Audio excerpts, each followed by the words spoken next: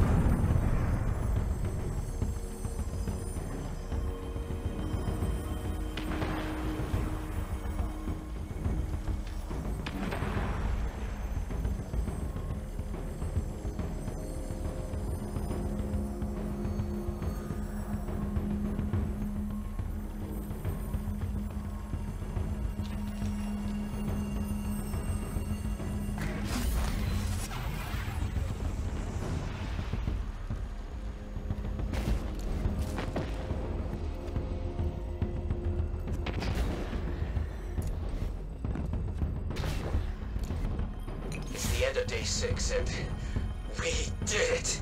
We found the source of the loot. Guardian Broke down. into a chamber and it's wall-to-wall Engrams. Glimmer piled to the ceiling. Top tier loot as far as the eye can see. We're gonna go as deep as we can.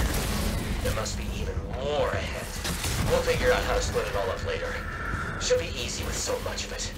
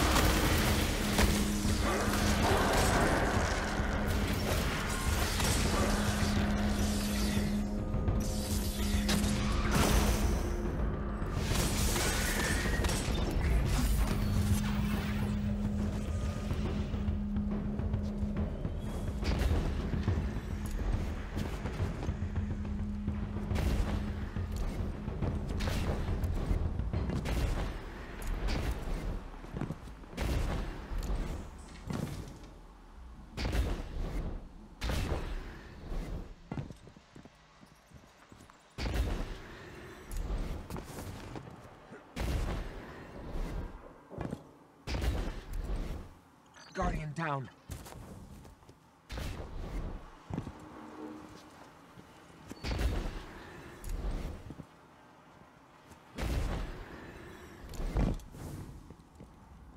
Day 10.